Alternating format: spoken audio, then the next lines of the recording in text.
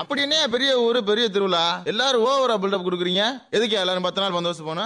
Sir நீங்க புதுசுனாலும் உங்களுக்கு தெரியல. ரெண்டாயிரத்தி இருநூத்தி குடும்பம் இருக்கிற திருவிழா பத்து நாள் நடக்கும். உலகத்துல எந்த முழு முடுக்கில் இருந்தாலும். கதை உண்டு கேளு.